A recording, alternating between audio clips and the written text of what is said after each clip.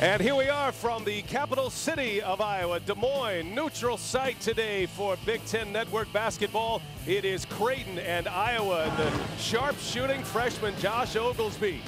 He's off to a great start this year. He'll match up against one of the best talents in the country in the mid-majors. That is Doug McDermott.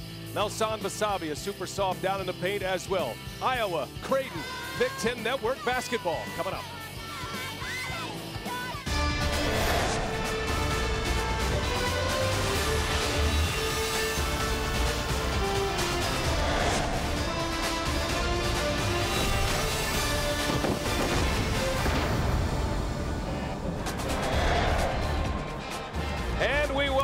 Downtown Des Moines. Welcome to Big Ten College Basketball, presented by GMC.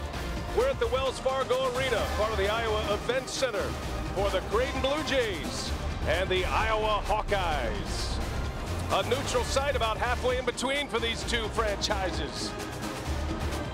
And hi, everybody. We welcome you from the Wells Fargo Arena. Brian Anderson along with Kenyon Murray. Great to have you with us. We feel like we got a nice November matchup here because two teams that are on the rise, two programs moving forward at 3 and 0, and they match up very well against each other, you would think. Yeah, they do, and we're going to find out a lot about both these teams today. Iowa Hawkeyes running on all cylinders. Fran McCaffery, year two, his system really showing itself this year. And the Creighton Blue Jays, one of the best mid-majors in the country, and they're led by one of the best players in the country in Doug McDermott. Well, for each, it'll be a big test. Now, Doug McDermott has to be considered one of the top mid-major players because of his skills and because of his production in his first two seasons. Definitely the newcomer of the year, freshman of the year, first team all Missouri Valley Conference. Doug McDermott has everything that they need to be successful this year. He can score inside, outside. He's going to be a handful for the Hawkeyes today. It'll be interesting to see who matches up with McDermott. Now, Creighton is young. The Hawkeyes have some veteran leadership, and Matt Gatens right at the top. And Matt, injury-free coming into this season. That was one of the things he stressed today in shoot-around is he feels good. Shooting at a high clip from three-point range, and one of the best free throw shooters in the conference, Matt Gatens ready to lead him. A great test for the Big Ten against the Missouri Valley Conference. Iowa and Creighton get ready for some up-tempo, entertaining basketball coming up next.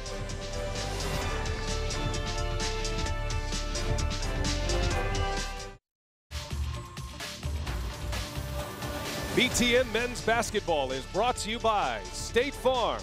For auto, home, life, and banking, get to a better state. Peak Antifreeze. When you peak, you win. Rotel and Velveeta. Together, their queso dip is sure to make any get-together better. Sunday afternoon hoops on the Big Ten Network in the middle game of our triple header and a good crowd, an energetic crowd to see this one. It's a neutral site, but it feels like more of a pro-Iowa crowd here in Des Moines. Let's give you the starting lineups. Both of these teams off to 3-0 starts. Their starting lineups have not changed. Grant Gibbs, Jahenns Manigat with Antoine Young, Doug McDermott, the player to watch, and Gregory Echenique. Starting five for Creighton. And they are led by Greg McDermott. He has roots that run very deep in the state of Iowa. And of course, his son Doug is now a star for the Creighton Blue Jays. The starting five for Fran McCaffery's Iowa Hawkeyes. Same starting five all season. Matt Gatens is their leading scorer and that terrific, talented veteran backcourt in Cartwright and Gatens. And there is Fran McCaffery in his second season. He has taken his teams to the NCAA tournament at every stop, most recently Siena. And now the rebuilding continues here at Iowa. He likes his team and he likes it up-tempo, wants them to play fast. Mike Stewart, Mike Whitehead, and Steve Olson, our officials. And we're ready to tip it off here at the Dale Howard Classic in Des Moines.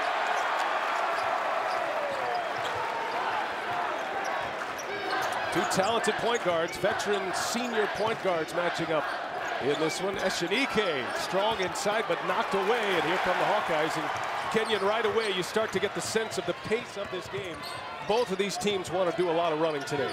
Each team is going to take their chances running the floor, but you saw there with Creighton, they're going to go inside. They have a starting center for the Venezuelan national team playing for them, and so they're going to try and get inside and expose Iowa where they may be a little weak at. That's inside where they lost Andrew Brommer. Here's Gatens off the front iron. Creighton not afraid to push the basketball either. They're they're bigger than Iowa, which is unusual. They're out of the Missouri Valley Conference. Iowa in the Big Ten. That's a little bit of a change, but Iowa is playing to their style. And you'll see a lot of presses and a lot of running as a foul is on May. There's Doug McDermott. Rather, Greg McDermott, father of Doug McDermott. Second year in Iowa. He was the head coach at Iowa State. A lot of ties to the state of Iowa here on this floor today. One thing about Creighton is they're actually playing with two point guards. Grant Gibbs starts at the three, but he gives them another ball handler, and that's huge for the Creighton Blue Jays. Offensive board and a putback that will count. Ball was tipped in the air as Doug McDermott puts the Blue Jays on the board. And there we said Doug McDermott is going to be able to attack the Hawkeyes inside out there. Johnny on the spot there, offensive rebound, able to put it back. That's an easy point for Doug McDermott. He's 6'7", Doug McDermott is a threat not only inside as we saw there, but away from the basket as well. He presents a major challenge to the Hawkeyes today. Stripped away, Gibbs. And he finds McDermott inside. McDermott has the first two buckets. And it is the Blue Jays that are the aggressor here early. And there you see the value of Grant Gibbs, able to get the ball off the rim, push it down, and then under control, able to feed the big fella inside for the easy layup. Grant Gibbs showing his value here early in this game.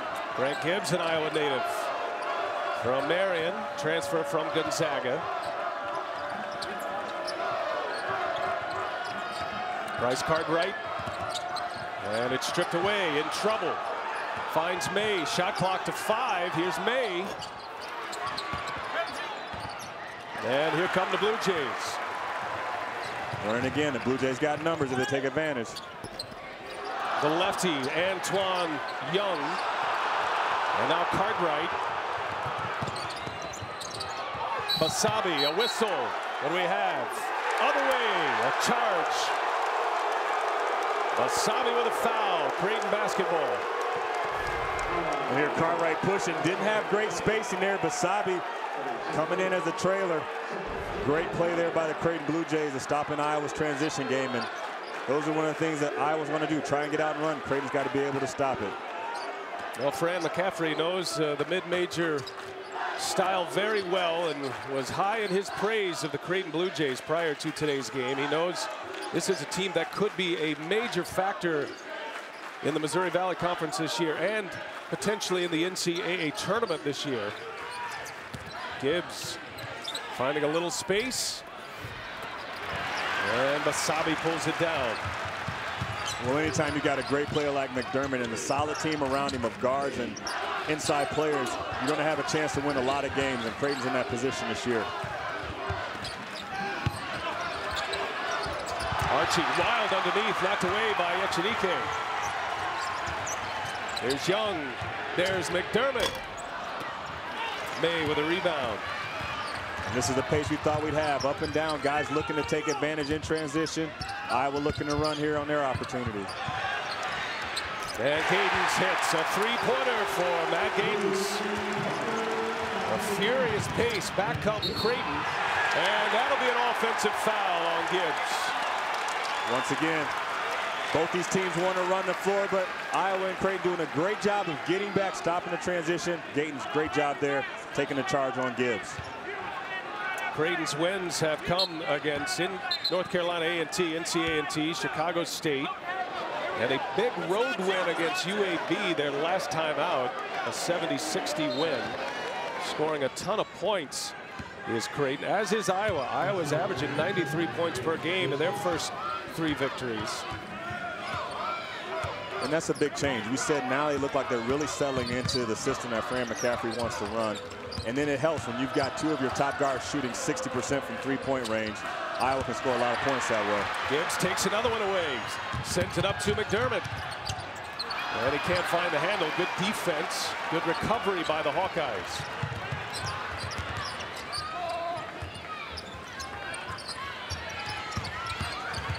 Believe it or not, Fran McCaffery said he'd like to see the Iowa Hawkeyes actually play a little faster than they played last season in his first season as Eric May connects.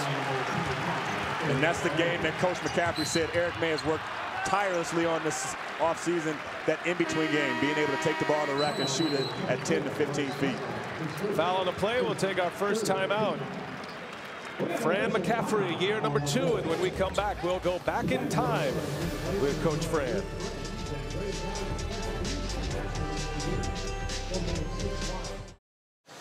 Well, a lot of trips up and down the floor. Not much scoring. 5-4. Iowa has the early lead.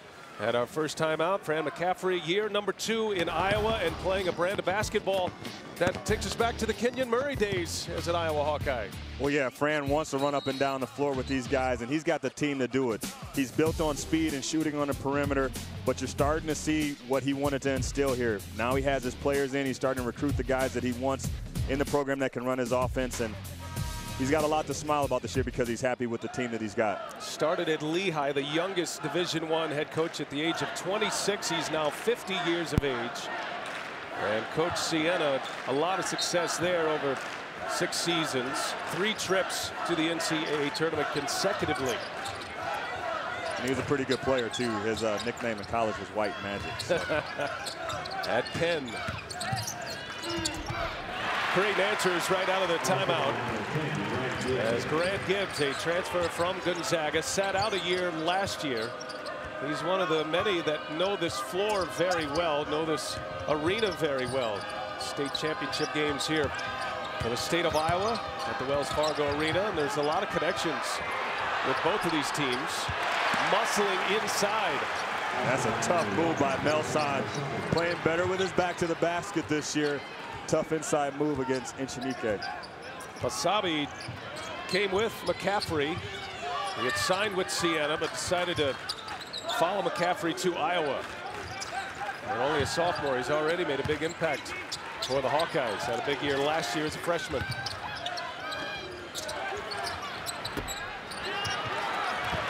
Great box out there by the Iowa Hawkeyes on that shot. May looks inside, Basabe. And a whistle, he will head to the line. Foul goes on Echenique. Like we said last year, Melsahn Basabe was great facing up to the basket, but he's really worked on his post-up game to be able to give him that extra dimension to be able to score in the post. And that was a great pass by Eric May.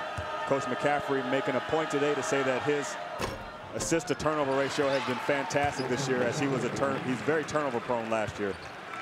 In comes Devyn Marble. Cartwright is out. And how about our peak keys to victory today, Kenyon? Well, for the Iowa Hawkeyes, they've got to continue their balanced scoring, and then they've got to contain McDermott. They've got five players averaging double figures, so that's a key to keep that balance in their lineup. And then they've got to stop McDermott, the All-American candidate. And for Creighton, they've got to contest Iowa shooters who shoot almost 50% from three-point range and then limit the transitions. They've done a great job here in the early going. Hawkeyes have Aaron White also in the game. Hawkeyes go 10 or 11 deep. A lot of flexibility with this up-style, up-paced offense as McDermott connects for his third field goal. He has six of Creighton's eight. Great patience there by the Blue Jays to allow Iowa to press up and try to deny the wing, and McDermott very astutely backdoor cuts for the easy layup. McDermott well on his way. He's been a guy that's racked up at least 20 points in his last nine games going back to last season. Went for 27 in his last start against UAB. Creighton controls the board. Gibbs is everywhere right now. Back to McDermott, a foul. And McDermott will head to the line. And that's another great thing by Grant Gibbs is, like I said, he's able to get the ball off the rebound and then bring it down and get them set in their offense. So play point guard all through high school and at Gonzaga. And here he's that other guy on the floor that can get the team settled. And there he finds his good buddy Doug McDermott in the post again. Zach McCabe with the foul, the coach's son. Doug McDermott. We are talking to Greg earlier today. He said, how is it coaching your son? He goes, you know, he's he's the best player on the team, so it makes it a lot easier for me because he's a dominant force. And like you said, as long as he can treat him just like everybody else, when he's in between the line, he's coached. Outside of that, he's dad. But he said it's been a great little mix between the two, and Doug just wants to be treated like all the other players, too, so it makes it a lot easier for Coach McDermott. Greg told Doug, don't you dare roll your eyes at me like you would in the living room over dinner. Marble kicks it out to McCabe, wide open, and cannot connect. Will Artino pulls the rebound down. And McDermott battling inside. You know, he put on about 15 pounds from his freshman year to his sophomore year, and plays like that show the strength of McDermott. Show the strength and it shows the hand. Everybody looks at the finish, but he was able to collect that ball with three Iowa defenders around him and then get it up on the glass. Great play by Doug McDermott. 10 points already as Gatens answers. Much needed basket for Iowa. And Gatens using his size there over the smaller defender, able to rise up and when he gets it that close, he's a master using the backboard to knock down shots. Austin Chapman running the point, the speedster, and has it knocked away. Basabe got a hand on it. And a steal for Iowa. White takes it to the hole and a blocking foul. White is headed to the free throw line.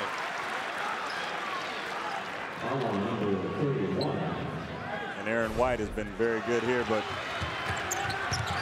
you see Creighton Getting the ball down to McDermott. Three defenders around him. He's still able to collect it. Great hands. And then Gatens using the glass, using his size, able to rise up. And you can see he's got more explosion this year. Like you said, he's feeling great physically. And that's something that Matt hasn't had the last couple years. So great start to the season, great start to the game for Matt Gatens. Gatens had a career-high 27 on Monday against North Carolina A&T, and he will head to the bench for a quick breather.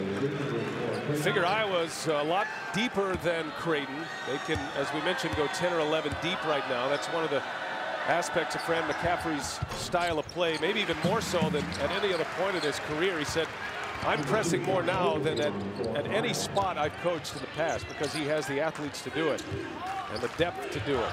And I think he's looking at the conference, too, where the Big Ten Conference is typically a very physical league. He's able to bring another dimension. I think he's going to be able to keep his team in games when they may be smaller than other teams. So it's just a great position for Iowa to be in to be able to switch things up. Devyn Marble with a foul. Josh Jones got the contact on him. And we've got some changes. Avery Dingman will check in for Gibbs. A very impressive first run for Grant Gibbs in this game. Well, McDermott has picked up most of the scoring. Gibbs has been the playmaker in the early going. Iowa aggressive trap outside, getting the ball swung. And that's going the other way. Offensive foul on Josh Jones. Now, when it starts to get cold outside, it's always nice to look back at great summer trips. Blue Jays had one. Continue that thought when we come back. We thought it would be an entertaining ball game today. We have one. Creighton and Iowa off to a terrific start. 12-10 Creighton. And how about a summer trip to bring a young team together, Kenyon? They go to the Bahamas this summer, do the Blue Jays? Well, I'd like to take that trip too, but one, you get extra practices, and I think whenever you're able to take a trip, I remember our overseas trip, it gave us a chance to really mesh together and get some of our new guys involved. And so for a young team like this, a great opportunity for them to create some more chemistry and really play against some good competition during the summer. See how it breaks down for the Blue Jays of Creighton. Greg McDermott has just three seniors, and his best player, his son, the sophomore, Doug McDermott, and he talked about the practice time in the Bahamas. That's really the key. They did play some games there. They're important games, but really the, the 10 practices putting this group together, and I think that's when they started to realize they've got something special here. It was brewing last year for Creighton and certainly has spilled over a lot of high expectations in Omaha this year with the Creighton Blue Jays in the Missouri Valley Conference. Shot clock down to five. Got to get a shot up. There is Oglesby.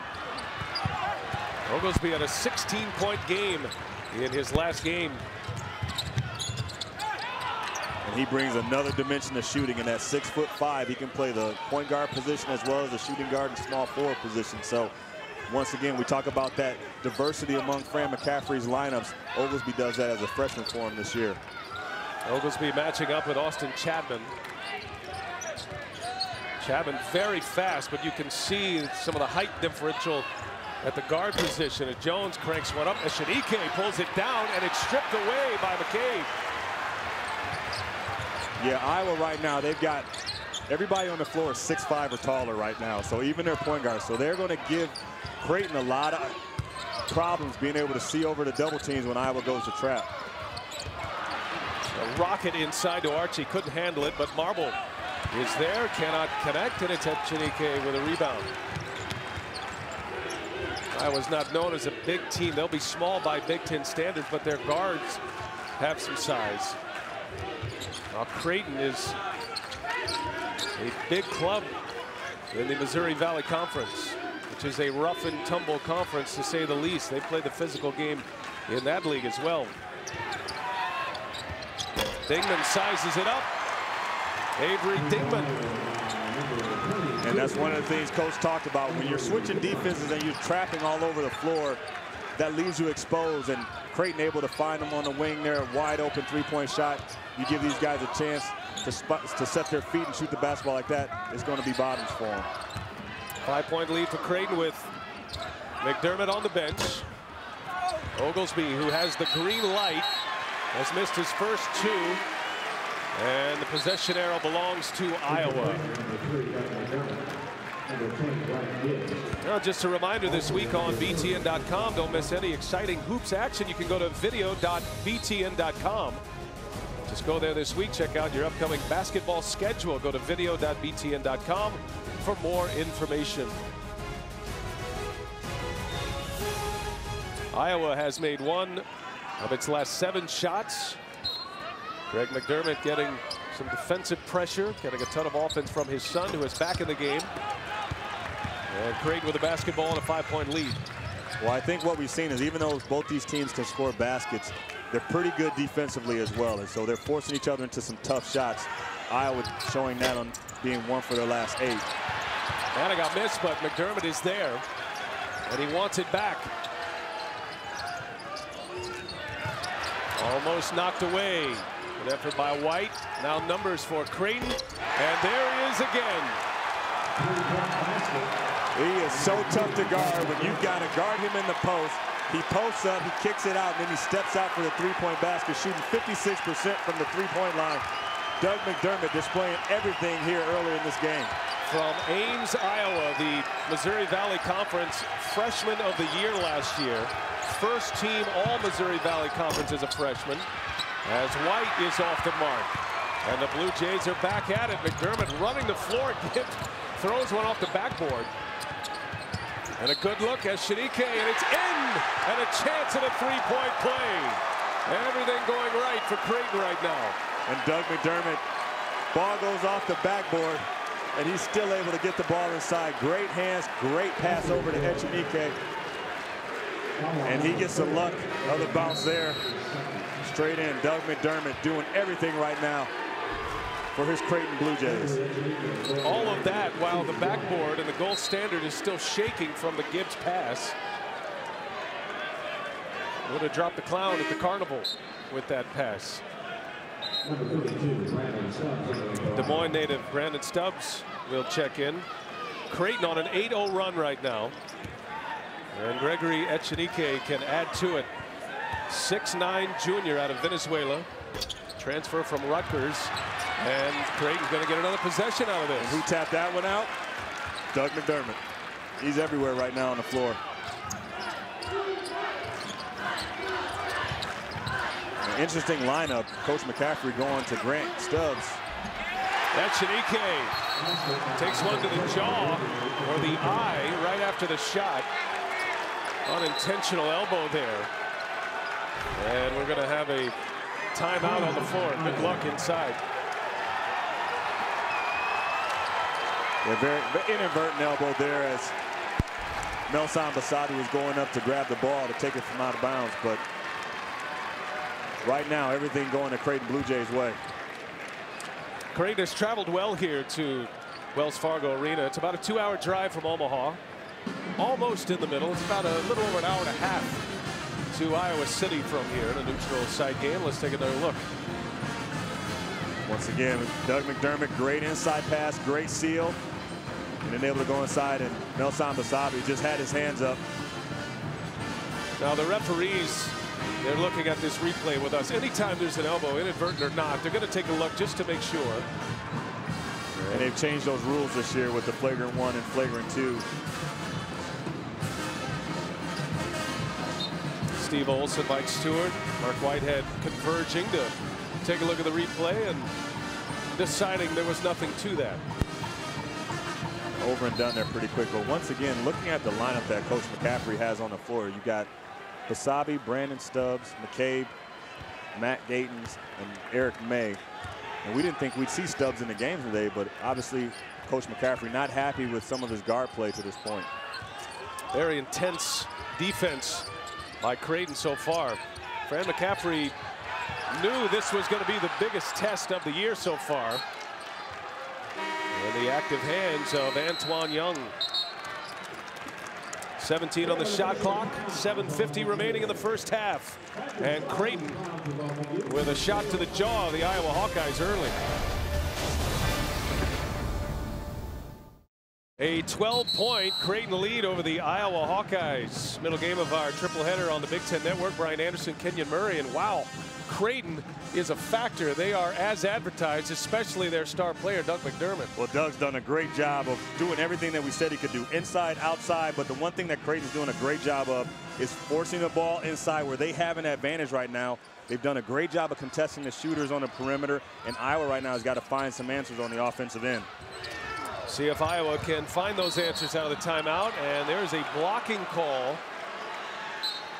And that foul will belong to Manigat. And what you want to do is come out of a timeout with a set play, and there they're going to Matt Gatens, their star, able to draw the foul on Manigat. Looks like they're trying to feed the beast here. Gatens fires a three, and the Hawkeyes needed that one in a big way. Matt Gatens. Gatens has been a scoring machine this year. He leads their club in scoring, coming off a 15-point game against Northern Illinois. I mentioned he had 27, a career high on Monday against NCA&T. And Matt's always been a very physical player, but this year he looks in great shape. He's moving really well without the ball. The first couple years he seemed to maybe a little bit overweight, but now he's able to play extended minutes. And with a shooter like him, you're going to have to be able to do that. Doug McDermott. How impressive is this? McDermott has 16 of Creighton's 25 points. Well, he is fast becoming this year's Jimmer Fredette. And how do you guard that? I mean, he's coming off a baseline down screen, fading out to the three-pointer, then knocking it down with someone in his face you can't guard that. I mean, Doug McDermott has done everything that we knew he could do and more here early in this game.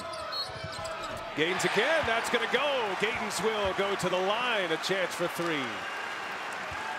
The senior stepping up, some big baskets here for him. Here you go, Matt Gatens there. One, we said he's a very physical player, able to take the contact.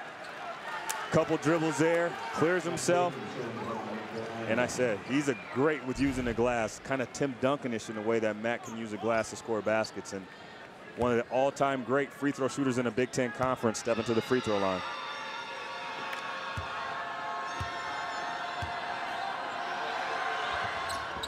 Well, Iowa, their last two possessions, they've been able to put three on the board and six total points in the last two possessions. It's back to a nine-point game.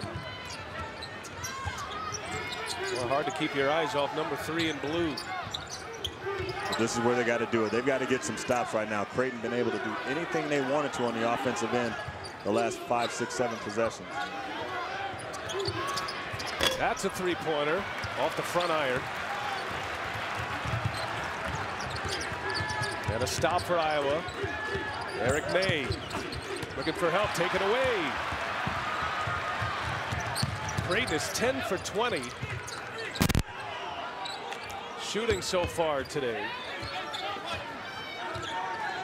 With McDermott doing most of the damage. Oh, nice, nice take to the basket. Antoine Young, he's a left-hander. That's his strong side and a good finish by the senior point guard. That was a great finish, but the one thing is when Doug McDermott set the screen and roll, he drew Eric May over. So when the help had to come, it came late because May had to account for McDermott in the paint. So great identification there by Young, taking it to the basket and then having the strength to finish inside. And Young converts the three-point play, the senior guard. Backy is White as Fran McCaffery is searching for the right combination here.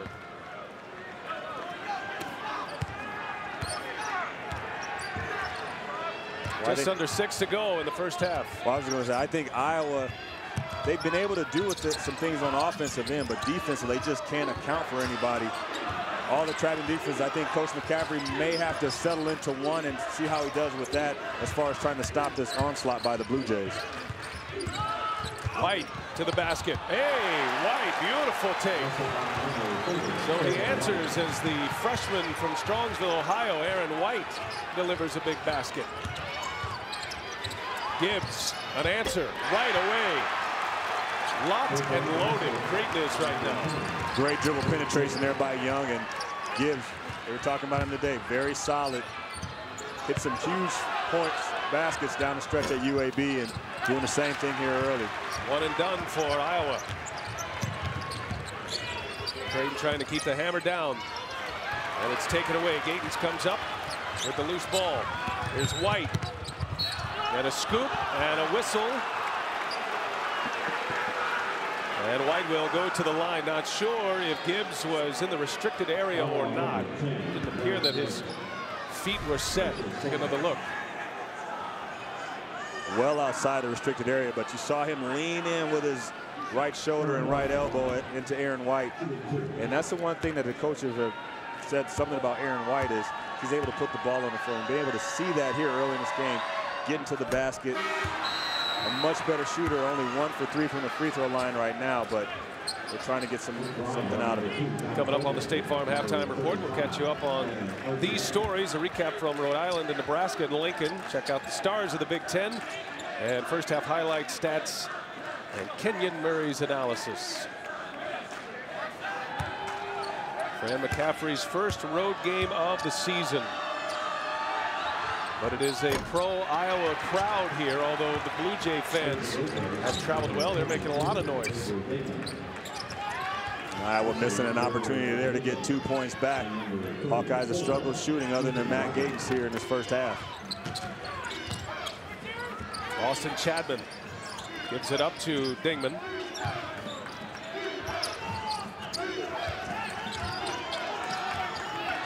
Both teams starting to shoot it well recently. Creighton has made six of their last eight shots. And there's a takeaway and a whistle. That is Iowa basketball. The foul is on Ethan Wragge. And Iowa doing a great job of trapping the basketball there. And Aaron White off the Matt Gatens tip, able to jump inside and get a steal there. Stepping to the free throw line where he's one for four right now. Aaron White's got to get a couple back here for the Hawkeyes. Right back to the line he goes. White had a double-double in his first game as a Hawkeye. 19 points, 10 rebounds in his first game in Iowa City. And Fran McCaffery knows he's got some young players that he's going to rely on heavily as part of that rotation, part of being deep, 10 deep. He's going to have to use some of these talented young freshmen and sophomores, which means you're going to have to deal with the ups and downs throughout the course of the season. And that's the great thing about freshmen, though, they bounce back really quick. So I think with the leadership he has in the backcourt and with some of his front court players, I will be okay. They'll be able to get a lot out of these guys this year. Avery Dingman again connects. Unexpected offense for the Blue Jays from the 6'6 freshman from Branson, Missouri. Dingman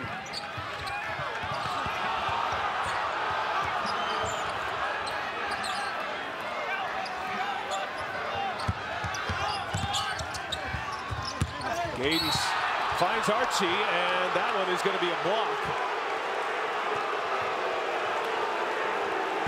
Archie is headed to the line. Creighton continues to shoot the basketball. They're playing hard. They're playing active, stripping the ball. White, however, a good answer on the other side. 34-20, Creighton. It has been an impressive start for the Creighton Blue Jays out of the Missouri Valley Conference, out of Omaha, Nebraska, but a lot of Iowa ties, of course, and Doug McDermott, uh, two state championships here in Iowa, and uh, on this floor, as a matter of fact. His dad, Greg's from Cascade, and uh, there are a number of connections, not just with Creighton, but also the Iowa Hawkeyes, but some, some players that are very familiar with this court. Yeah, definitely. Wells Fargo Arena hosts the boys and girls state championship. And in this game, there's eight players that have played high school basketball here at Wells Fargo Arena for a combined eight state championships. Grant Gibbs from a very storied program in Cedar Rapids, Marion, Iowa, Linn-Mar. Actually has the number one point guard in the country on their roster this year, but he's not going to Iowa. He's going to North Carolina. Speaking of North Carolina, Harrison Barnes from Iowa. He and Doug McDermott, teammates, maybe one of the greatest prep teams in the history of Iowa high school basketball. Echenique finishes inside. Creighton continues to pound it inside against the Hawkeyes right now. Well, that's where they have the advantage right now. And then because they've established themselves inside as Cartwright hits a pull-up jump shot, as they've established themselves inside, that has opened up their perimeter game where they've been able to knock down the open threes. McDermott misses. I haven't seen much of that. He has 16 points already, 16 of Creighton's 36. And a whistle and a block. And there, Cartwright back in the game, very assertive on the offensive end. He's been struggling with his shot, so trying to get something going to the basket. Cartwright is their guy. He's got to get going. He's got to run the offense and came on strong at the end of the season last year, looking to continue that here in his senior year. Austin Chapman hit with a foul. Cartwright to the line after scoring in the last possession. Cartwright led the Big Ten in assists last year, also led in turnovers, something he's tried to clean up. Say BTN goes where you want, when you want it with BTN to go, presented by Auto Owners Insurance. Watch live games and BTN original programming like The Journey, Big Ten Basketball 2012 on your computer, tablet, or smartphone. BTN to go is available, no extra charge to subscribers who receive BTN through their cable, satellite, or participating video providers. Let's go to btntogo.com to find out more. And we'll go from one foul line to the other as Basabe picks up the foul and McDermott is headed to the free throw line. I don't think there's one part of this game that Doug McDermott hasn't been a part of. And interesting there, those two went at each other last year for the USA 19 and under team where Doug McDermott made the team and was the third leading scorer for the USA team. McCabe back in for Iowa. McDermott with 16 and misses a couple there. 12 point lead Creighton 240 remaining in the first half and Iowa looking for a fast finish to this first half to shoot their way back into this game going into the break. Oglesby being hounded by Dingman, and Dingman's going to get a foul. And now the foul's starting to rack up for the Creighton Blue Jays here. Yeah, it was a little more physical in the beginning of this game, and they let a lot of things go, but they've really tightened it up here. Both teams have been aggressive going to the basket, but Iowa truly being the benefactor here in the late stages of the first half. Josh Oglesby at the line, 6'5 freshman from Cedar Rapids. And the free throw woes continue for the Hawkeyes. Oglesby started his year one for nine from the field, but then answered with 16 points on Thursday against Northern Illinois. It was a, a good get for Fran McCaffery. As it looks like McDermott has a scratch and new rule that uh, you get 20 seconds now to try to get the uh, the blood stopped and get it patched up. This way a player doesn't have to automatically leave the floor.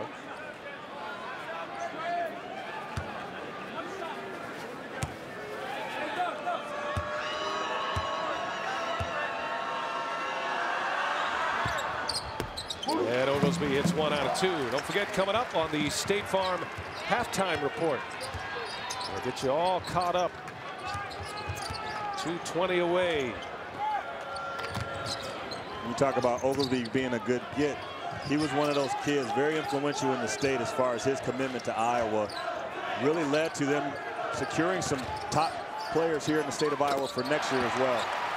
Josh Jones, hometown kid from Omaha. He's had an impact in this game. He's gotten a lot of minutes in this game. And he connects once again. Jones, his first field goal. Well, Manigat's been in foul trouble, and so Jones has had to come in and, and spell those minutes there. And he's done a really good job on both ends of the floor. McCabe cannot finish, and it's Echenique with a rebound. Even when Iowa gets a good look, unable to put it down. Well, now Creighton. Chance to step on the gas here as we wrap up this first half. Antoine Young to the basket and misses with a right hand. Comes up with the rebound. Blue Jays moving the ball. Got it. Avery Dingman. Another three-pointer for Avery Dingman, his third. And when you've got guys on your floor that are playing with confidence, players like Dingman can come off the bench, feel confident in their shot, and he's been able to knock down a couple. Here's Gatens. Dingman with a rebound. Creighton on a 10-0 run and second chance points. Making the most of their possessions. Good luck, Jones, the lefty, fires! Jones again. Once again, that inside-out play. Echenique catching the ball inside. Didn't even look to the basket, but kicked it right out to Jones on the perimeter. And Jones able to knock down the three. Creighton running on all cylinders. Fran McCaffery said this would be Iowa's biggest test of the year to this point. I don't think even Fran McCaffery expected this. Lights out the Creighton Blue Jays in the first half. Well, we knew that they were one of the best mid-major teams in the conference or in the country.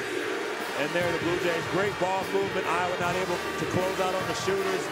Dingman knocking it down, and then Jones on the kick out from Echenique. The Blue Jays shooting lights out, and the target is the Hawkeyes right now. Well, if you're Iowa, just trying to survive this first half and figure out some kind of answer. Figure the way back for the Hawkeyes is going to be behind the arc. They're going to have to start making their three-point shots. They're certainly going to have to tighten up defensively a little bit in the paint. Well, right now, that's what coach has got to figure out. He's got to figure out what defense is going to give him the best chance to not only guard the inside game of the Blue Jays, but he's able to get out on the shooters. And right now, he's tried multiple defenses and hasn't been able to figure it out. So the Hawkeyes need to get through this last 22 seconds, regroup at halftime, and then come out with a better plan in the second half. McDermott with 17. Dingman has nine. Dingman averages just a little over five points per game this year, and already with three three-pointers. Valuable last possession, if for nothing else, for psychological reasons for the Hawkeyes going into the break. Uh, three seconds between the shot clock and the game clock. Cartwright, front iron. And McDermott pulls it down. And a whistle underneath. Actually a timeout, I beg your pardon. Right now, the difference in this game is the stars have shown up. Doug McDermott showed up. He's shown up from the beginning of this game. He has been the catalyst in everything. Started inside, getting great looks inside. Backdoor cut. They look for him. And once your star gets going like he has, it gives everybody else confidence. And Doug McDermott has gotten so much confidence for the rest of this Blue Jay team that you got guys coming off the bench like Jones and Dingman that are hit huge three-point baskets. And on the other side, Gatens, he's having a really good game, but he has no support right now. He hasn't gotten anything from Basabe. Cartwright has struggled with a shot. And then the guys, like you said, when they got to the basket, they're still not able to convert. So right now, McDermott has the upper hand because he's got guys that are helping him in this game. They know him well here in Des Moines. He and Harrison Barnes, a terrific team in Ames. They won 53 consecutive at the prep level. Doug McDermott had signed with Northern Illinois. He was, uh, or Northern Iowa, I beg your pardon. He was headed to Northern Iowa, but changed his mind and wanted to play for his dad at Creighton. Last chance, Cartwright at the buzzer. Yes! And that's a huge confidence builder, not only for the Hawkeyes, but for Bryce Cartwright. Great play by Zach McCabe on the steal and the pass up the floor.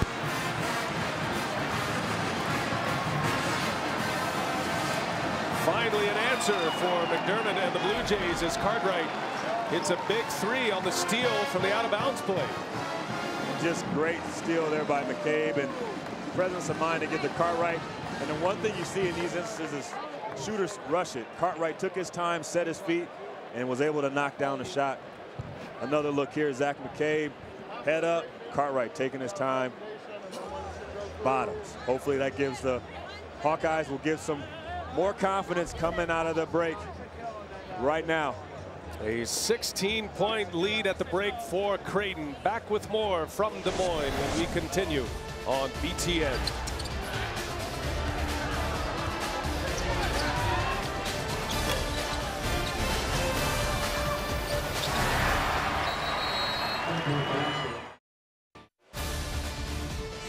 Wells Fargo Arena in Des Moines. We welcome you back. The State Farm halftime report. A neutral site today, Creighton and Iowa. Creighton has opened up a 16-point halftime lead. Brian Anderson, Kenyon Murray back with you. And we're starting to look around the Big Ten a little bit, and uh, it's been an exciting start to the college hoop season right now. But I think the theme in the Big Ten, Kenyon, a lot of stars lost. Now the next wave coming up, who's got your eye at this point? Well, right now you have to look at some of the teams that have always been at the top of the conference, and that starts with Michigan State, Wisconsin. But Draymond Green has been fantastic for the Spartans. It seems like he's been there for eight years, but Draymond Green once again leading the Spartans here in the early season. He's been phenomenal, averaging 11 points and over 12 rebounds a game. But then you have to look at some of the other guys looking to step up this year. And we go up to Minnesota and Trevor Mbakwe huge force inside, averaging 18 points and 10 rebounds. He's the catalyst for what Minnesota wants to do this year. And he's proven that he's one of the best post players, not only in the Big Ten, but in the country. And then we got to travel down to Ohio State and Jared Sullinger, freshman of the year, decided to come back for his sophomore season at Ohio State. A more slimmed down, more in shape, and even more determined Jared Sullinger looking to lead Ohio State not only to the Big Ten title, but to the national title. So where are all the guards? Kenyon Murray. I mean, it's all big men on your uh, spotlight here, but there are a number of players, obviously. You've got Matt Gatens in there as one of your sleepers. Yeah, I definitely think so. You know, if Matt continues to play the way he has and Iowa has to play well as, as well, but then you got to look at Jordan Taylor. He's probably the best point guard coming back in the conference. And Robbie Hummel, what do you have to say about him? Coming off of two knee injuries.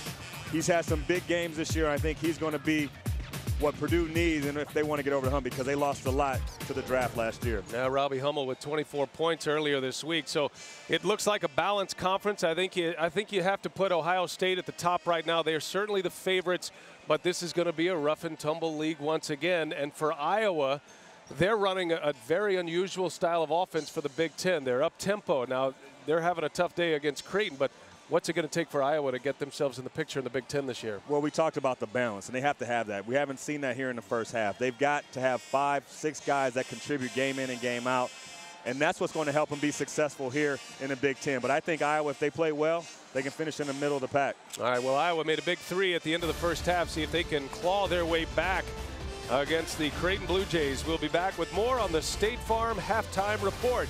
16-point Creighton lead. We'll look at the big first half with Doug McDermott when we continue.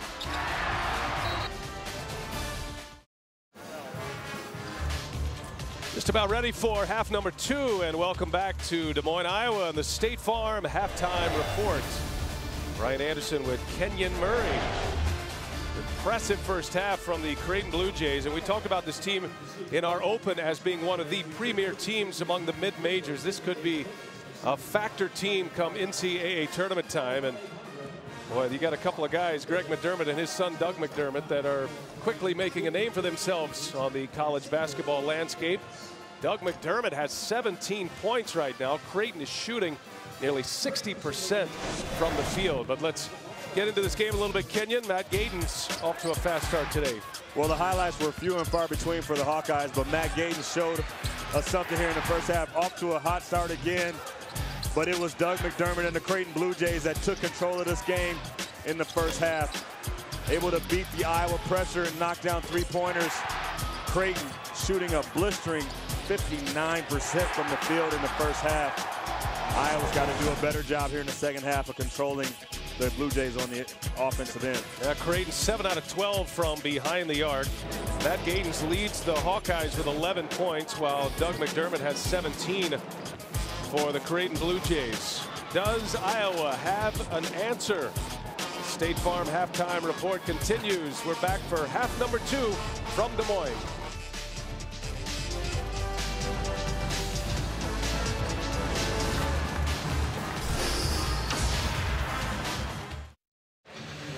Well, Creighton, the preseason favorites to win the Missouri Valley Conference, and they are showing you why here this afternoon so far. 16-point lead for the Creighton Blue Jays. And Doug McDermott has been a force. It's time for today's Reese's Perfect combination between McDermott and Dingman. 26 points for the Blue Jays of the 45 on the board. Echenique wide open and Gatens with the foul, a smart foul to send Echenique to the free throw line. And right out of the gates, Iowa breakdown defensively. And that's what we said. They had to come out and establish themselves that way. But great play by the Blue Jays coming out running a nice set to get the ball inside once again. 20 to 6 points in the paint. Creighton over Iowa right now, and they went right back to the well that's been so successful for them in this game.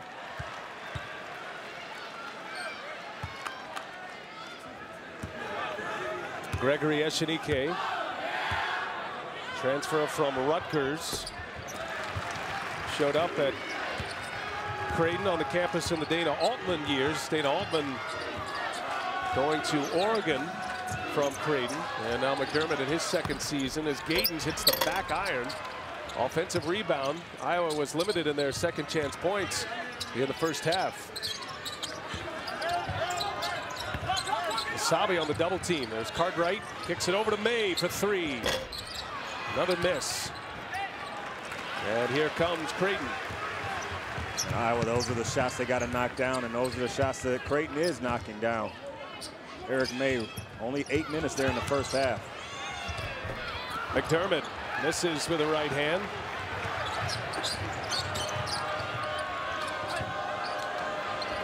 Haven't seen much of the press from Iowa as Basabe can't connect. Cold shooting for Iowa coming out of the halftime break. And there, Eric May on the break didn't look even look at the basket. When you're shooting that well from the perimeter, you've got to look for your shot. And there was a transition opportunity for May, but because he hasn't shot the ball well here early, didn't even look at the rim. They start to feel a little bit of the pressure mount up for Iowa. Now, this is a team that can score a lot of points quickly.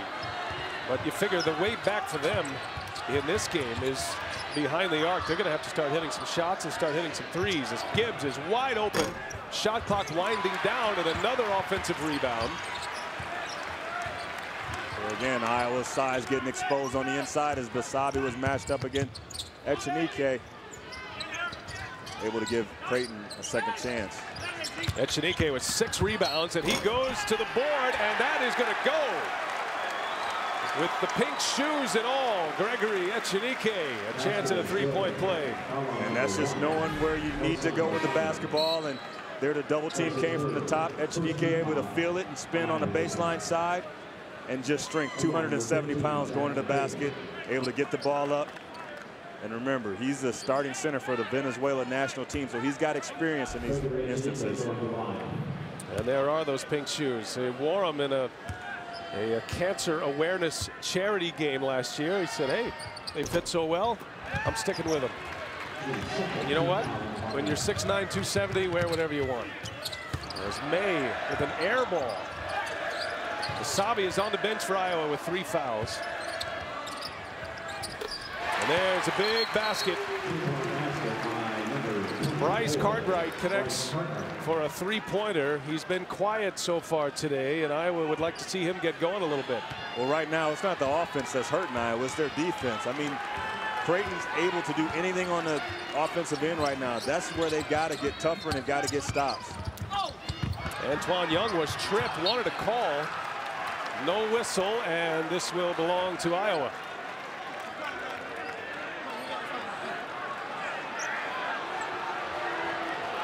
And Creighton fans wanting a foul.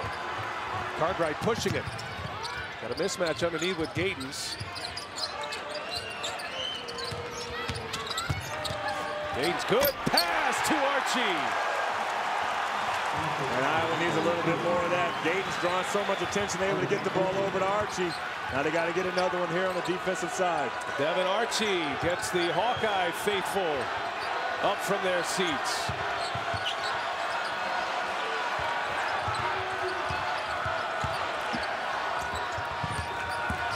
Gibbs dribbles himself open but misses from short range. Echenique, another offensive rebound.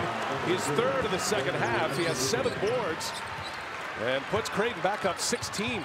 It's those second chance opportunities Iowa is allowing Creighton to get that's putting them in a position that they are right now. And McCabe will go to the line for two. Gibbs with a foul. Yeah, McCabe's got to finish that, but Creighton, short shot there, but able to get a second chance opportunity. Here's Nike, Johnny on the spot, able to finish, and then Matt Gatens, dribble drive, drawing three defenders, able to drop it down to Archie. Iowa has to do a better job on the defensive end, and McCabe, you've seen him twice go inside with easy point-blank layup looks and not be able to finish. It's almost looking like Iowa's legs are being taken out from under him as he's short on his first free throw. And Iowa, that's part of their game. Iowa now 8 for 16 in free throw opportunities. And let me make a correction. That last foul was on McDermott. A scrum underneath. The ball pops free, and that will be Creighton basketball. Archie touched it last. Another miss at the free throw line for Iowa. They coming into this game shooting almost 78% from the free throw line as a team. Free throws really killing them right now. Just 8 for 17 from the free throw line.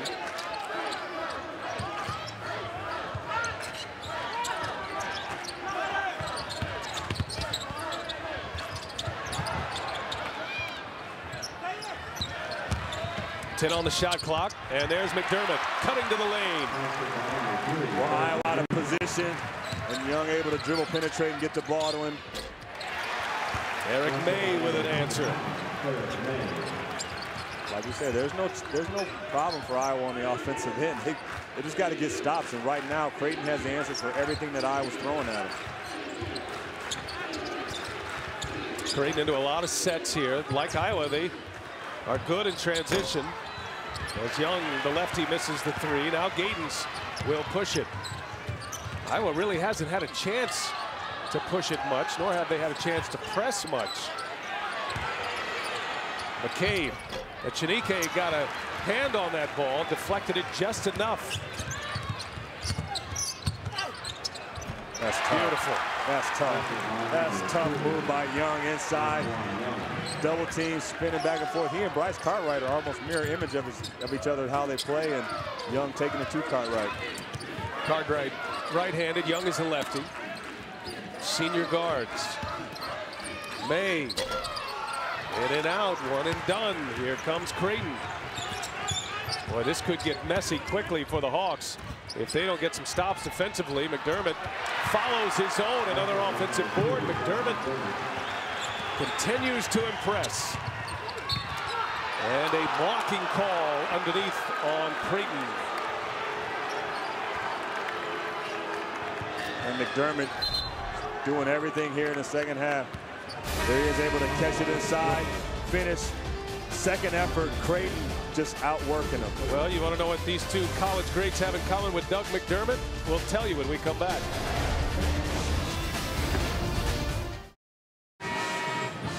Well, you want to know how good Doug McDermott has been as Creighton is out to a 20-point lead. Mid-majors are starting to blossom with celebrities all over the place. We saw it last year with Jimmer Fredette. Look at this company. Carmelo Anthony with Syracuse, across the board numbers. Then compare that to Kevin Durant, 903 points. That's just crazy to even think about. But there is Doug McDermott. Now, these are freshman seasons. The kind of numbers that McDermott put up last year to earn him these kind of accolades. Well, we talked about how good this kid is and where he can do it anywhere on the floor. And that really puts him in a very select company of players and really shows you how good he really is and the potential for Doug McDermott is, who knows, sky's the limit. Understand it's a different kind of player, different kind of league. But Doug McDermott, first team all Missouri Valley Conference as a freshman. That hasn't happened since 1952. Battle for that one. White wrestles it away from Will Artino. That ball is out on Artino, and the Hawkeyes have the basketball. Nice little scrum there, though, but the referees have allowed a little bit of physicality to go in this game, and both players going hard. Devyn Marble will run the point. There's White, another freshman. And that one is in and out. That's been the story of the day for the Hawkeyes. Another one missed. Creating a chance to add to their 20-point lead. And very smart there by Young to had an opportunity to run, but wanted to come back out and run a set play. Be effective where they have been all day long. Gibbs. And look out below as Young goes head over heel into the stands. Let's hope he's all right. He took a major spill.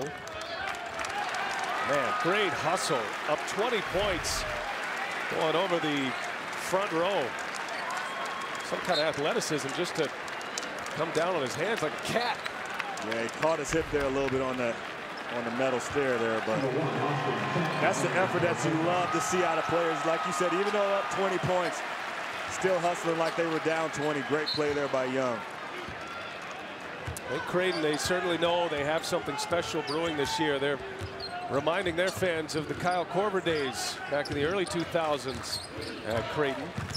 And this team might have a chance to make some noise, not just in the conference, but in the NCAA tournament as well as White sizes up a three. That one is halfway down and out. Shooting is failing the Hawkeyes today.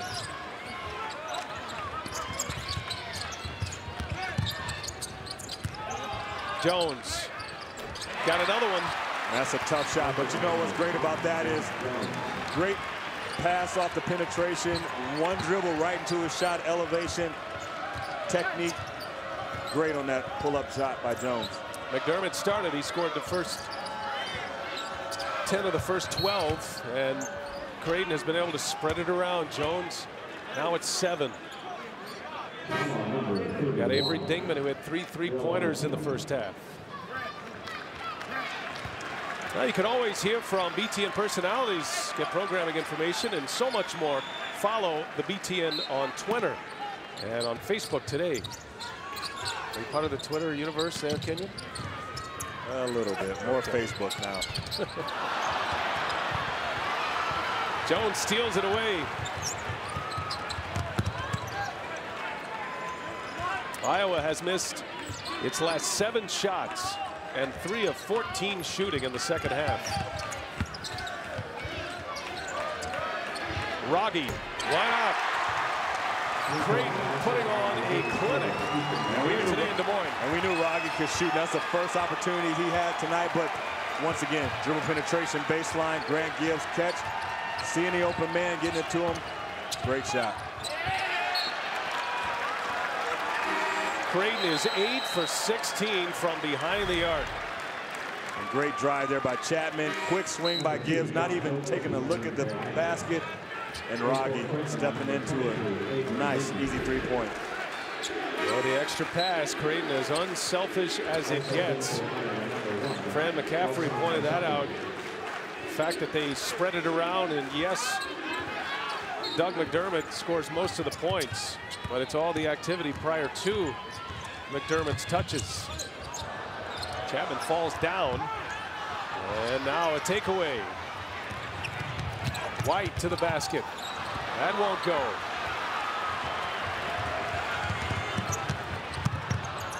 Iowa just not able to convert inside. How many easy layups have we seen them miss at the basket here tonight? Iowa came into this game averaging 93 points per game. Fran McCaffery says we weren't even shooting the ball that well to average 93 a game in our first three games. Well, shooting has been exposed here today. I think it really shows is that they've got to go back to their drawing board as far as how they defend, especially on the perimeter, because Creighton is lights out right now, and they've gotten comfortable. So Iowa's really going to have to pick it up here in the last 11 minutes.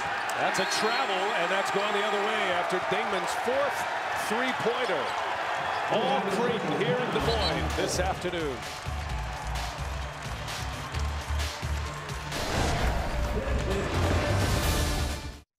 All Creighton here in Des Moines, the capital city here in Iowa, and a pro Hawkeye crowd as far as numbers, but Creighton and uh, their group of fans that have made the trip from Omaha, about a two-hour drive, they have made themselves quite comfortable here at the Wells Fargo Arena.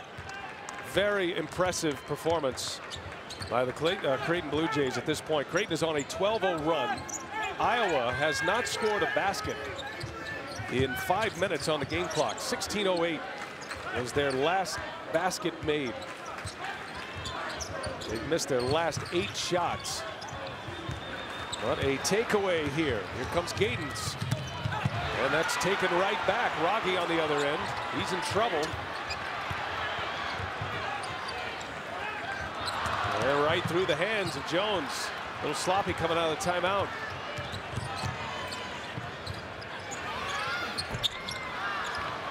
And the poor shooting continues for the Hawkeyes. And Iowa right now really struggling with their shot. But I think what Creighton's done to take away Iowa's legs is they've really pounded the ball inside. They've looked more like the Big Ten team because they've thrown the ball inside.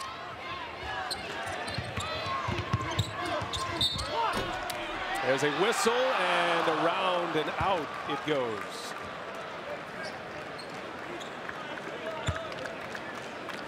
Creighton will head to the line as Avery oh. Dingman will shoot two.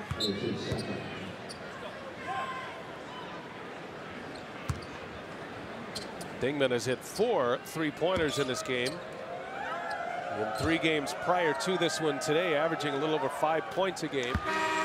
That gives him 13. Don't forget tomorrow night, BTN has another slate of great college hoops action. First, the Hoosiers take on Gardner Webb. Then at 8.30, the third-ranked Buckeyes host North Florida.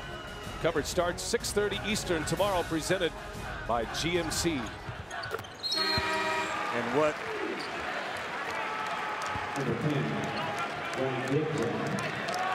so Dingman, a couple of free throws, the Ohio State Buckeyes in our State Farm State of Success. 25 game home winning streak. Matching up against the Ospreys tomorrow night. Well, as Demon goes out, the one thing that's helped elevate his game today is knocking down those three pointers. And there on the last play, he's able to dribble drive and get a look inside. And so they've really set Iowa up to do whatever they want to do on the offensive end here. Creighton has. Oglesby with a three, and now the Hawkeyes with the pressure on. All five starters for Creighton back in the game now, and a foul on May.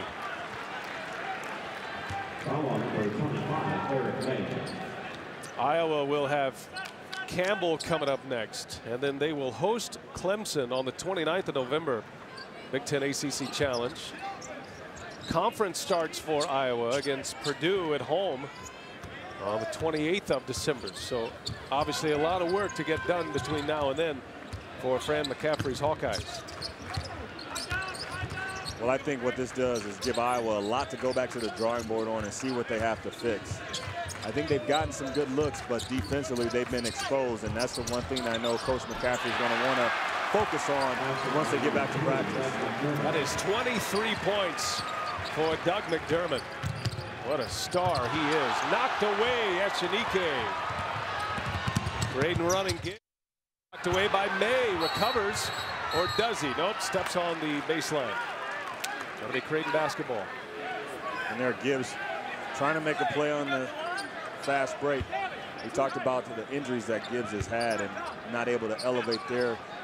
He's had issues with his knees, but great play, way to push it, but then an even greater play by Eric May to get back and get a block shot. Well, prior to that make by Oglesby, Iowa ends up going nearly six minutes without a basket. Five minutes, 44 seconds to be exact. Not the kind of start to the second half, and that's why they find themselves down 29. In the meantime, Creighton went on a 14-0 run out of the halftime break. Echenique with a left, he'll go to the line. Once again, going inside.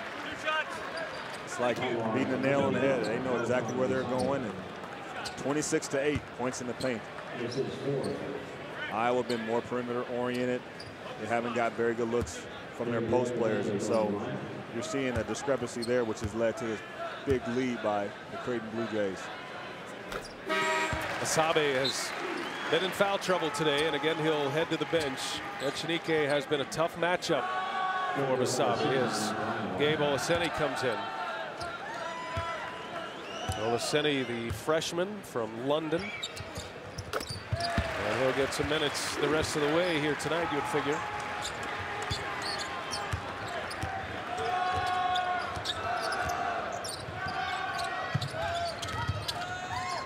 Oglesby again, what a sweet stroke he has. Oglesby coming off 16 points. He's hit the last two buckets for the Hawkeyes. And he's really looking for a shot here late in the game. So I think coming into the game, coaches probably told him, man, we need somebody to look for their shot and knock down something. And Oglesby's done that. He's been solid on the defensive end as well. Fran McCaffery's been in the coaching game 29 years, and he said he has rarely seen a shooter like Oglesby and has encouraged him to continue to shoot. He has the green light at any time, just that natural stroke. Going to play a big part. If the Hawkeyes are going to have any success this year in the Big Ten Conference, they're going to have to shoot it well, and Oglesby figures to be in the middle of it. Yeah, and his size is a definite advantage, too, at six foot five, able to extend over defenders.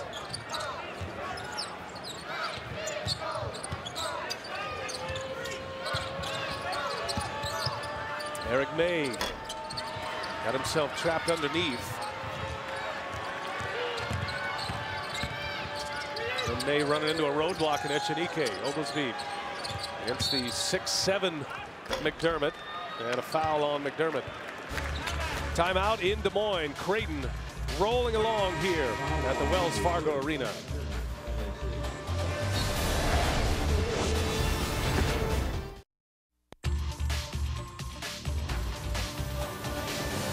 BTN Men's Basketball is presented by GMC. We are professional grade. And by State Farm. For auto, home, life, and banking, get to a better state. Back in Des Moines with producer Michael Rosenblum, director Todd Benjamin, Brian Anderson, and Kenyon Murray. Great to have you with us today. Did not expect this. We thought this was going to be a terrific matchup of two programs that are up and coming on the rise, but Creighton from the jump have been the aggressors here today, and they are proving why they are one of the top mid-major teams in the country right now, and a number of polls rated second among the mid-majors behind only Gonzaga. Well, they've really proven that, and they've got some players that have helped that cause. In Doug McDermott and Gregory Echenique, they have been fabulous inside, and they've got some welcome help off the bench as well. Oglesby cannot connect. Olaseni having it knocked away. And now May for three. Boy, that bank is closed for the Iowa Hawkeyes. The poor shooting continues. Just five made shots out of 24 attempts in the second half. And Iowa seemed rushed. It's almost like as the lead grew bigger, their shot preparation got shorter. So they started rushing a lot of their shots, coming up short. They just haven't had the balance on the offensive end today to stay in this game. Marble got a hand on it, but Young gets it back, calls a timeout. Six on the shot clock when we come back. Creighton 70, Iowa 41. Creighton basketball when we continue. Well, Creighton from the rough and tumble Missouri Valley Conference enjoying a 29-point lead over the Iowa Hawkeyes. There is a former Hawkeye MVP, Roy Marble Sr. His son Devyn Marble is a point guard on this Iowa Hawkeyes club. He's able to catch his son play a father and son team. There's Devyn Marble. He'll get some minutes here. At 6'5", running the point. Sophomore out of Michigan. And yeah. right out of the timeout, Green comes back with a basket and now a 31. And that's what Coach McDermott has done every time. Out of a timeout, he's run set plays that have gotten the ball inside. And whether it was Echenique or his son Doug, they all went inside and got good looks at the basket. And Iowa just getting hammered inside. I think the Missouri Valley is going to be a fantastic conference this year. And this is one of the top teams there. And Drake earlier beat Iowa State. So they've got some pretty good teams that are going to give these bigger conferences some uh, a run for the money. Now Creighton has a great rivalry with Wichita State. Wichita State won the NIT last year. Well, uh, Creighton, as you see McDermott finish inside, so strong, so talented, inside, outside. This guy does it all. Largest lead of the game for the Creighton Blue Jays, 33. And that's that strength. There's that 15 pounds going to work right there that he's put on since last season. Able to finish through two defenders. And I don't know how you guard him. Oglesby for three finally hits. Now, last season, Creighton ended up in the college basketball invitational. They ended up in the championship series against Oregon. Interesting matchup there with Creighton's former coach, Dana Altman, and the Oregon Ducks. Oregon won that championship, but it created some extra games for Creighton. They accepted the invitation. They go to the Bahamas this summer. So they've been able to play a lot more together and been able to get some extra practices in with that summer trip. This is a team to be reckoned with. Last year they won 23 games, finished runner-up in the Missouri Valley Conference. And suddenly this year with their returning starters, four of them as a matter of fact, you have what looks like will be a, a favorite for the Missouri Valley Conference Player of the Year in McDermott. And they're built like a team that can handle themselves in the NCAA tournament. Definitely. They've got great guard play as Young has been the best assist to turnover guard in the conference for the last two years. They've got great perimeter shooting, and they've got an inside punch. And with those things, you can compete with anybody. And like you said, they've had the, the time to know each other, to get together. And that creates camaraderie, it creates chemistry. And those are the things that go a long way in winning basketball games in the NCAA. Well, the Blue Jays on the run. Jahenns Manigat finishes it off.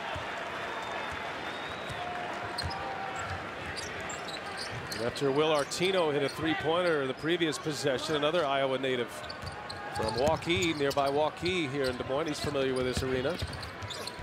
As May goes to the basket. So you look at the Missouri Valley Conference, Wichita State, Indiana State, Missouri State. Drake will be in the mix, Creighton. It's interesting how this landscape has changed in college basketball the last few years, Kenyon, with the one and done players. A lot of that talent showing up at the upper level Division One colleges, but leaving quickly, and it establishes some of these these smaller schools, these mid majors, with with a lot of experience, guys who are in the program three and four years playing together. And it's leveled the playing field a little bit as Artino connects again. It definitely has. You've seen where good teams beat great players all the time across the country, and that's what these. nice take by Marble there. And Marble will head to the line. Well, who will be this year's VCU? It might be Creighton. They're on top of their game in November in Des Moines. Eric Collins standing by here at the Breslin Center. Michigan State happy to be back here in East Lansing tonight. They look to try and get one against the University of Arkansas Little Rock Trojans. Draymond Green and Keith Appling trying to make it two in a row. Friday night, a nice convincing win over Texas Southern. Tonight, a chance against a team that went to the NCAA tournament. Arkansas Little Rock, the Trojans in town. We will have our game tipping off in a little bit. Don't go anywhere, folks. Big Ten Network basketball continuing. All right, Eric, thanks. Looking forward to that. Final game of our triple header of Big Ten basketball today. Creighton 80, Iowa 48 with 337 remaining. Fran McCaffery back to the drawing board after this one. Devyn Marble at the line for the Hawks. Well, I think one of the things that I was going to have to do is, Coach talked about the depth that he has on this team, but he's got to figure out a rotation. He's got to figure out where guys fit in and then what is going to be their expectations on the floor. With that being said, defense is where they have to start at in practice because right here they made no adjustments or else they weren't able to follow the adjustment that the coaches put in front of them. So I was really going to have to go back and figure out what they want to do on the defensive end. The depth is great, but I think these guys have got to figure out what their role is as well on both ends of the floor. They're talking to Fran McCaffery before the game. He talked about conditioning so important, which is why he does have 10 players in the rotation at this point because of the up and down style. But you have to have production or else a game like this can happen when you're not shooting and there's no where to go. There's no options to go to. You can find yourself in a big hole quickly like what happened today against Creighton. You're definitely right. And there's got to be a balance. We talked about balance on offense, balance on defense, but they've got to be able to go inside and get some baskets in the paint. That's what Creighton was able to do early, and they established themselves. Is that is that the kind of game they wanted to, to do? Get the ball inside, and then their shooters were able to establish themselves outside. So Iowa's got to find balance on the offensive end as well. Well, that'd be a great stroke to get going as Oglesby has made his shots here today. Oglesby now with 11 points. All here in the second half, too. I think Josh is really playing himself into maybe that guy that steps into a larger role going into the next game. Now, it should be pointed out as well that Iowa is without a big bruiser inside. Andrew Brommer with that knee injury. It's a right knee. He re-injured the knee, had an MCL injury, and two games ago he played just six minutes. He's the kind of guy against a team like Creighton or certainly a Big Ten team. He's the kind of guy that can neutralize the pain a little bit. But Brommer is just unable to go after the second injury on that knee, and they have their concerns, but Fran McCaffery feels like he is improving and he is at the point where he could contribute to this team once again. We'll just see how effective he could be. Well, I think Andrew was one player that really benefited from having Coach Fran McCaffery here, and so hopefully he can get back soon. Standing ovation for the Creighton Blue Jays. And I guess Doug McDermott has something special in his son, uh, Greg at Northern Iowa, the Big Mac at 6'8", and his son, Doug McDermott. Looks a lot like him, doesn't he? Yeah, a little bit different hairstyle, but other than that, a lot of very similar characteristics. Greg says he's a lot better than I was. A lot more athletic, but certainly a, a gym rat grown up to coach his son. Always around the programs. And great ties to the state of Iowa.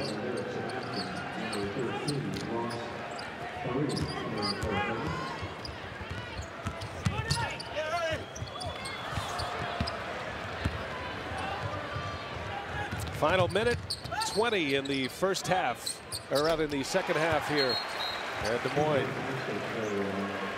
And we take a look at our GMC player of the game. GMC professional grade player is Doug McDermott. 25 points, nine straight games with 20 plus. Going back to last season, he was a rebound away from a double-double today. And not to mention three or four assists that were really on the money getting the ball inside. There's White with the flush. And a rare highlight today for the Iowa Hawkeyes. Well, I don't want anything to get lost in this, but Josh Oglesby has really lit the Nets up here in the second half, knocking down another three-pointer here a couple possessions ago. He's really playing well.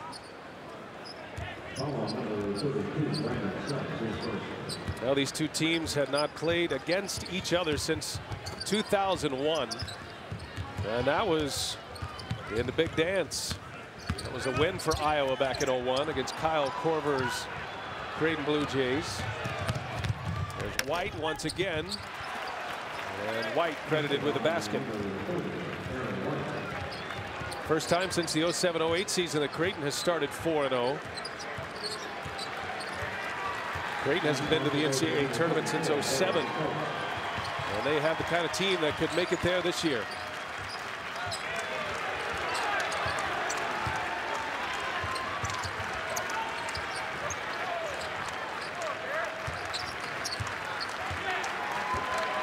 Creighton should be very happy with the way they played. Iowa knows that they've got some things to go back to, but it's early in the season.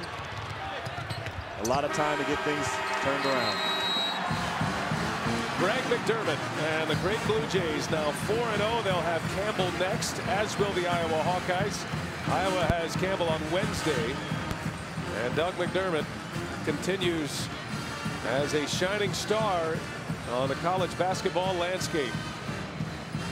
One rebound away from a double-double and a most impressive victory for the Creighton Blue Jays out of the Missouri Valley Conference. We'll take a break. We'll be back to give you some final thoughts from Des Moines.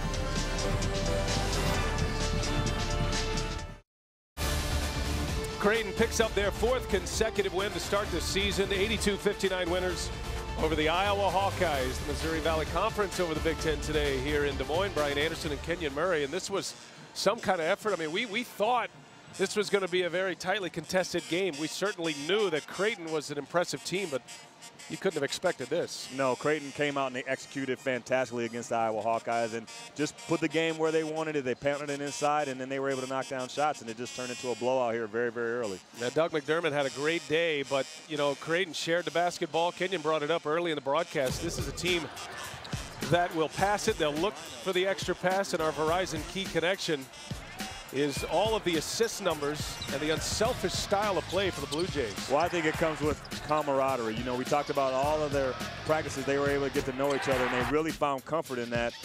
20 assists tonight from the Creighton Blue Jays, and I think that was one of the things that allowed them to get very good open shots here in the second half, especially as they just pounded the Iowa Hawkeyes inside and outside. Yeah, 20 assists tonight. They're averaging 20 assists per game. Twice this year, Creighton has had 28 assist in a single game. So this is a team on a roll, certainly a team to watch for Iowa. Moving forward, what is next for them in your mind? Well, they have to get back to the drawing board on the defensive end, and we talked about that a lot during the broadcast, but they've got to get there because they've got to be able to adjust. They're going to be running different defenses like Fran wants to do. They've got to be effective in them. And then they've got to figure out with that depth who's going to play what role on the offensive end, and they've got to get more from the inside. If they make their shots, they're a tough team to handle in the Big Ten. They play such an unusual style compared to the rest of the Big Ten. But it all is all about confidence, and they have some young shooters that are trying to establish themselves in this Big Ten conference. So the confidence is a key, and Fran McCaffery knows that as well as anyone at this point with his young shooters. Definitely, and you saw Josh Oglesby as a young shooter come in the second half and really shoot the basketball well. Matt Gatens didn't get off in the second half, and so that's something you got to fix. But – Fran's got some work to do, and I think practice is going to be very spirited. Spirited practice. You don't have any eligibility, do you? No. all right, Kenyon Murray, thanks. Great analysis today. I'm Brian Anderson. Once again, all Creighton today as they pick up the win. Coming up next on Big Ten Network, Arkansas Little Rock versus Michigan State. 82-59, Creighton. The preceding has been an exclusive presentation of the Big Ten Network. Now let's go to Eric Collins, Greg Kelser, Michigan State, Arkansas, Little Rock. So long from Des Moines.